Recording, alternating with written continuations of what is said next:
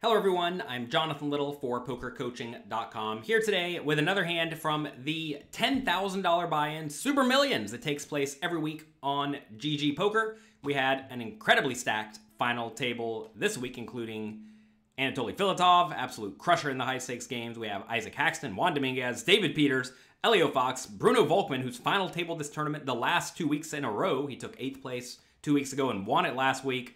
And I'm, I'm sure that all these other players are very good too. I just do not personally know them. Let's take a look at the players we will be discussing today. We have Isaac Haxton. Isaac Haxton is a poker player who's been around for a very long time. He was actually at my first World Poker Tour final table a long time ago. He ran an insane bluff where he, I think, three bet all in on a four straight river with the nut low. His opponent also had basically the nut low, and uh, he folded. So uh, Isaac Haxton gets in there and battles. He enjoys bluffing every time I play with him.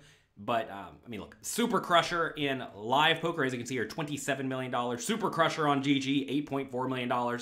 Absolute crusher in heads up games. This guy, he, he may be literally the best poker player in the world. His opponent, Bruno Volkmann, who, like I said, took first place last week and eighth place the week before, as you can see here.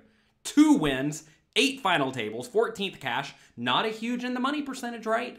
But two wins, eight eight final table. This guy makes a deep run every time.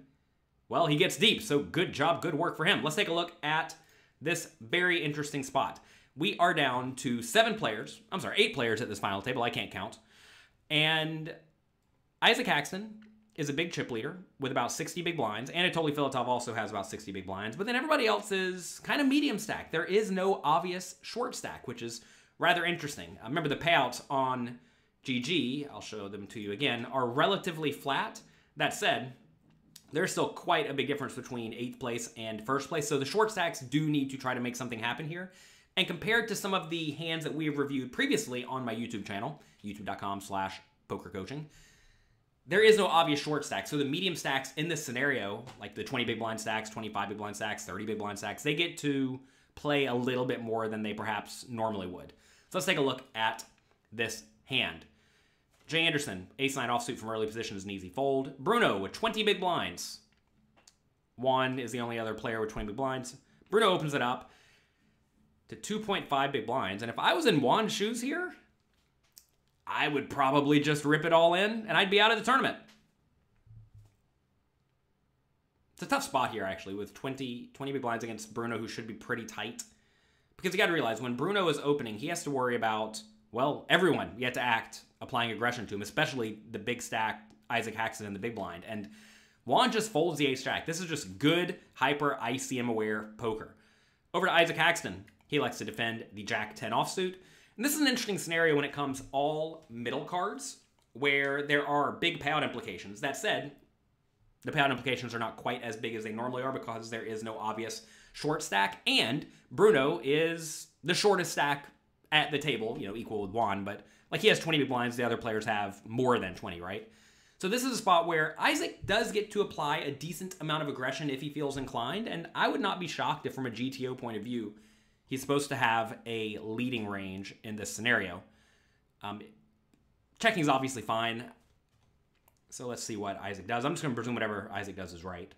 There are some people you just kind of default to them. If they made the play, it's probably the right play. All right, so pots 320k.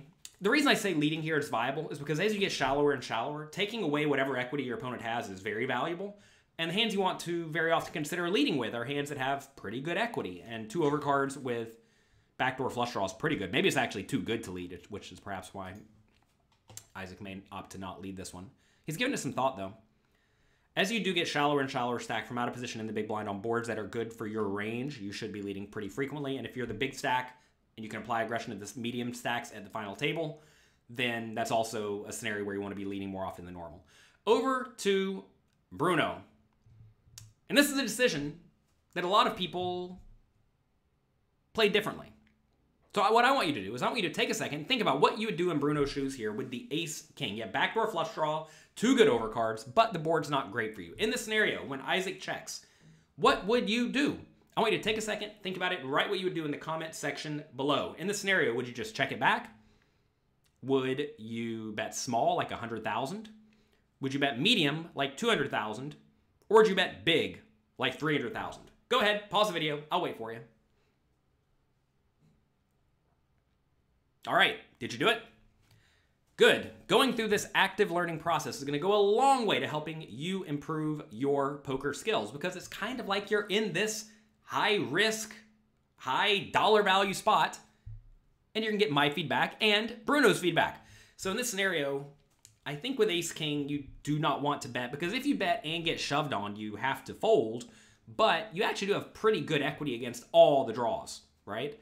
So in this scenario, in Bruno's shoes, you typically want to be betting with just your best hands that are happy getting it all in, and then some junky draws, perhaps a hand with like a five or a 10 that is okay betting and then folding. Obviously, there aren't a ton of those hands, but I think you'd be okay betting a hand like ace five suited if you even have it in your range, and then folding it if you get shoved on. You could also bet some really high equity draws, but even then, I think it might be right just to check, check flop, call a turn bet, fold to river bet if you don't improve. Because even though Bruno is the short stack, he sells 20 big blinds, and if he gets out of this hand with 13, 14, 15 big blinds, it's okay. So this is a spot where I think check back is by far the right option. And Bruno should be checking on this board a lot, just because this board is not good for him, right? Bruno is not opening a whole lot of the middle cards, whereas Isaac Haxton's defending all of them. So in that scenario, you have a big range, well, not a big range disadvantage, but you're certainly not a big favorite, and for that reason, you want to be doing a lot of checking. I can already tell you, Isaac Haxton's probably going to be bluffing in this scenario. Whenever the board is not great for the opponent, as it's not here, this is a spot where you do want to be betting with a lot of your hands that have decent equity but completely lack showdown value, and I think this Jack 10 is a great hand to do this with. Isaac has to be a little bit careful that he does not make this play with every potential bluff. And in this scenario, I think a lot of potential bluffs are going to be hands like king high and worse. And if you think about Isaac's defending range as the big stack against a you know person who has to be aware of ICM, Isaac does get to defend incredibly wide. So if Isaac is in this scenario with like literally every bluff and he opts to bet every single bluff, which uh, maybe he does, I don't think he does. I'm joking, Isaac. Um, if he does actually bet every single bluff or a lot of them, then you're bluffing way too often. And if your opponent's good, as Bruno gets in there in battles, right? I mean, he's making deep runs in these high stakes tournaments on GG on a regular basis. You have to be a little bit careful about over bluffing. That said, this Jack 10 is a very obvious bluff. It never wins at the showdown. It has decent equity, so this is a spot where Isaac is pretty forced to go for it, I think, unless he thinks Bruno's flop check back range is a lot of very strong hands or strong marginal hands, like a lot of overpairs that just are never folding. But that's probably not the case. By the way, you can go back and rewatch all of these final table streams at ggpoker.tv. They have a lot of these final table cards up reviews featuring many of the best players in the world, so get to studying. Isaac does go for the bet. Bruno's going to take his time, and he opts to call. You may say, why call here with the ace-king? It's not a great spot, but like I said, if Isaac is betting with a lot of draws, Ace King's the best hand. The nice thing about Ace King is it actually beats all the draws, right? Now we have an interesting river, the three of clubs.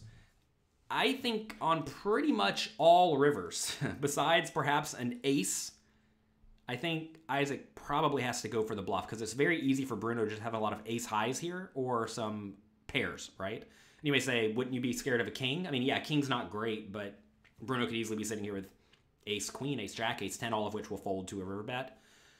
You got to presume. maybe, maybe not. So I think this is a scenario where, unless it is really the exact worst card, the ace, I think Isaac just has to go for it. Because realize Isaac could easily have a full house here. He could easily have a straight here. He could easily have a flush here. And, you know, he may even be able to go for thin value with a hand like a nine. Like, I don't think that would be absurd if you think your opponent's range is a lot of under pair type hands or ace high type hands, right? So I think this is a pretty easy all in for Isaac. It is worth noting that if he does go all in, Bruno's getting pretty good odds, so he may start finding hero calls. I'm certainly not going to critique Isaac Haxton's play, but on the turn, maybe he wants to go just a little bit smaller, rewound here a little bit. Because if he bets a little bit less on the turn, yeah, he's going to not have quite as much fold equity on the turn, but he's going to give Bruno slightly more chips on the river, which may result in him making a few more folds with hands like this ace king that, you know, really could conceivably find a hero call. Um, so if Isaac bets like 200 here, then the pot would be 150 fewer chips, so it'd be 700, and Bruno would have about 650, in which case then you can jam for about pot on the river, and I think that might actually get you a whole lot more fold equity. Of course, I could be wrong about that. So anyway, I think Isaac has an easy all-in even in, in this scenario. I do realize the solver very often goes for geometric bet sizing. Here, Isaac went slightly bigger on the turn and then slightly slightly smaller size proportionally on the river. So anyway, facing the shove, what in the world does Bruno do? Well, if you think think about it, what cards do you want to have in your hand to block effective nut hands for Isaac? Well, I think you want to have the Ace of Clubs, which Bruno has. Maybe a hand like the King of Clubs, or the Queen of Clubs, or the Jack of Clubs, or the Ten of Clubs. All those are viable. I think Ace of Clubs is certainly relevant, though, because that is a hand that Isaac would very likely bet the turn, like say at Ace Two of Clubs, and then he would jam the river. But obviously, he can't have that because Bruno has the Ace of Clubs in his hand, right? So that's good. I think you probably also don't mind having a hand like an eight because I think definitely think Isaac would play straights this way a decent chunk of the time. So I think having an eight would be quite nice. Um, but really, Bruno's gonna have almost no eights unless he has pocket eights. If he did have pocket eights, I think it's a pretty easy call on the river. Um, so in this scenario, you got to realize Bruno effectively loses with almost all of his bluff catchers to all of Isaac's value betting range. So in that scenario, you just want to have blockers in your hand that makes it harder for Isaac to have the nuts or the effective nuts because those are primarily the hands he's going to be jamming. I'm not, I'm not sure if he jams a nine on the river in this scenario. So if he is jamming only full houses, flushes, and straights, any cards you have in your hand that makes it more likely that Isaac does not have a full house, flush, or straight makes it proportionally more likely that he has a bluff. And you may say, would he really bluff in this scenario? Well, clearly he is. I would not be shocked if Isaac is over bluffing in this scenario because it's pretty good. And in this scenario, with big ICM implications, big payout implications, you should be bluffing a ton because Bruno's risk premium is through the roof. I have a tournament masterclass at pokercoaching.com where I have a very, very big uh, payout implication section where we go through all sorts of ICM considerations and we discuss how to like roughly estimate risk premiums. And this is a scenario where risk premium is quite high. Because notice based on the pot odds, Bruno needs to win something like, I don't know, 28% of the time. Could be wrong. Someone check me in the comments, do the math. Um, but based on risk premium, he may need to actually win something like, I don't know, 40% of the time, something like that. And it, it makes it to where you have to make substantially more hero folds. That said, Ace King beats all the ace highs that Isaac may bluff. That said, you block the ace, so maybe that's not so good. But you also have this ace of clubs, and I wouldn't fault Bruno for making a big hero call here. Um, knowing that Isaac likes to get in there and battle hard, that's an even bigger reason to call. So, dicey scenario, but I, I think it probably is just a nasty, nasty call. Also, notice if Bruno folds, and he's like the clear short stack, which is not really where you want to be. So this is a spot where I think Bruno does have some busted draws, like random hands with a 10 that are not so happy. Random hands with an 8, like ace 8 suited that's not so happy, um, that will fold. If Bruno does call this, maybe he's overcalling. I'm not sure. It's tough. This is a very, very dicey spot. Let me know what you think of Bruno's play here. I don't know if he's going to call or fold. Let me know what you think in the comment section below. I think I probably find a rough hero call. I mean, again, that may be me being results oriented because um, I can see that Isaac's bluffing. I don't think so, though, because there are a lot of bluffs available. It's important to note, even though the flush came in, think about all the bluffs Isaac could have. Any hand containing an 8 that doesn't have a pair is going to consider bluffing. Any hand containing a 10 is going to consider bluffing. Maybe any hand containing a 5 is going to consider bluffing. I mean, like that alone is just a whole boatload of hands. Um, every once in a while, it is worth noting that Isaac may bluff a hand like 5 3 eight three suited, right? That uh, made a pair. I think that'd be very very viable. So uh, that'd be pretty brutal if uh, Isaac was jamming with eight three and you end up losing with the ace king. Now maybe Isaac doesn't have all the eight three suited pre-flop, but as a big stack, even facing a two big blind raise, I think he can. Anyway, what you're gonna do, Bruno? You're taking your time. Come on, man. They give you plenty of time at the final table on GG. Sorry, everyone. You talk way too long, says, says the people in the comments. Such is life. I apologize. It's Bruno's fault this time.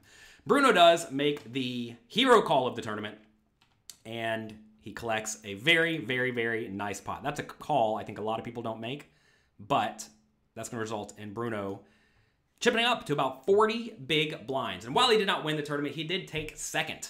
So, insane run for Bruno over the last three weeks. He had a first place, he had an eighth place, and he had a second place. This time, though, Anatoly Filatov took home the title and won the game. Again, if you want to check out that full replay, check it out at ggpoker.tv. That's going to be it for today. Hope you enjoyed this hand. If you did, do me a quick favor click the like and subscribe buttons below. I would appreciate that. Enjoy yourself, have fun, and make the most of your experience. I appreciate you being here. I'll talk to you next time. Thank you for taking the time to watch this video, and as a thank you, I'm going to channel all of my poker knowledge into your brain right now. Oh wait, that didn't work. Sorry, you're gonna have to keep studying. Go ahead and click the subscribe button right here, and I'll see you in the next video.